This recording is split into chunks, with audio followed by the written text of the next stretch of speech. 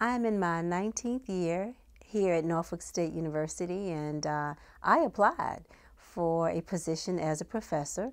Uh, interested in returning back to Virginia, was uh, at Temple University earning my doctorate, and uh, NSU always had a really strong school of social work, and I thought that this would be a great fit for what I wanted to do in the community and as a researcher. And so it's my good fortune that I was able to start working here in August of 1999.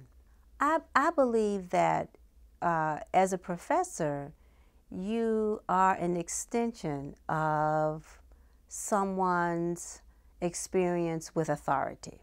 They're away from home, and you have an opportunity to continue uh, the relationship that they have with people in their intimate network who are authority figures.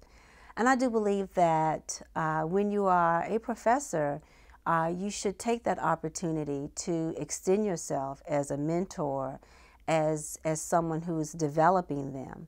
And so the classroom development, the intellectual academic development is completely important. But what is equally important is the emotional and spiritual development uh, that I believe that professors can provide students. I love the students here at NSU. We attract strong students who push themselves because of their families uh, for excellence.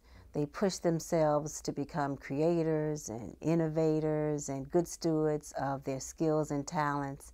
And I believe that the work we do here at, at this university is important, life changing work. My name is Colita Nichols Fairfax. I'm a professor in the Ethelyn R. Strong School of Social Work at Norfolk State University, where I'm also a Robert Nusbaum Honors College Senior Faculty Fellow.